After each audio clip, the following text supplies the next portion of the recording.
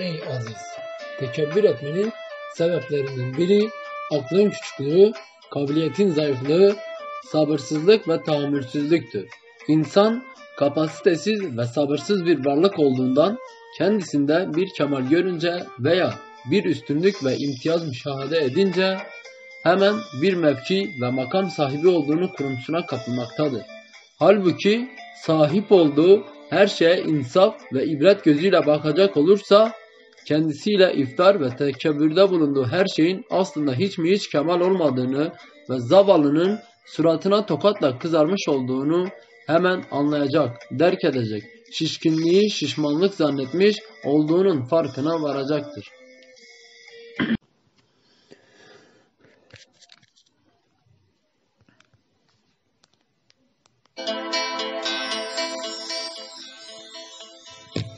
Ey aziz!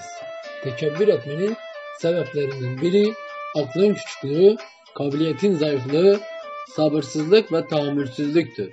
İnsan kapasitesiz ve sabırsız bir varlık olduğundan kendisinde bir kemal görünce veya bir üstünlük ve imtiyaz müşahede edince hemen bir mevki ve makam sahibi olduğunu kuruntusuna kapılmaktadır.